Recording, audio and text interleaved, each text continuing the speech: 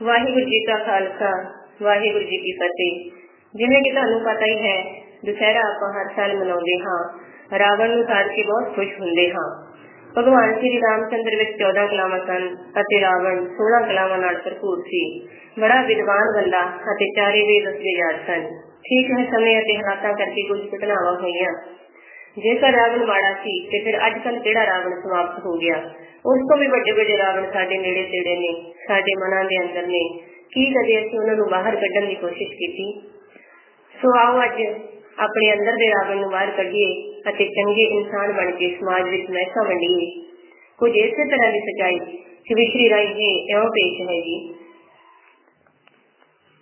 ਰਾਵਣ ਜੇ ਬਹੁਤ ਖੁਸ਼ੀ ਨਾਲ ਸਾਣੇ ਹਰ ਥਾਂ ਬੰਦਿਆ ਅੰਦਰ ਦਾ ਰਾਵਣ ਸਾਣੇ ਬਣਦੀ ਗੱਲ ਤਾਂ ਬੰਦਿਆ ਕਿੰਨੀਆਂ ਜੋ ਹੋਰ ਬੁਰਾਈਆਂ ਮਨ ਚੋਂ ਮੇਟਾ ਬੰਦਿਆ ਐਵੇਂ ਹੀ ਸਾੜ ਪਟਾਕੇ ਖੁਸ਼ੀਆਂ ਨੂੰ ਮਾਰੇ ਤੂੰ ਜਿਹੜੀ ਗੱਲ ਸੱਚੀ ਚੱਲਿਆ ਤਾਂ ਤੋ ਨਾ ਜਾਣੇ ਤੂੰ ਕਿਉਂ ਨਾ ਇਹ ਸੋਚ ਵਿਚਾਰੇ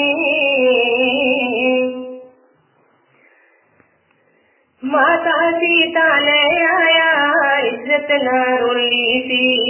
सीता धीरे छुपाड़ नहीं रखती एक सी। उसकी सेवा नहीं खड़दी कोने एक टोली सी। हुनता हर गली मोहल्ले, उस तो जो बाद ने रावण का की सीता उस दे उस ताद ने। रावण सारे गया पीछे गीता गुरु ग्रंथ प्राण नु गलिया बिच रो लिया किता बेच बंदा, दरिया ना डोलिया।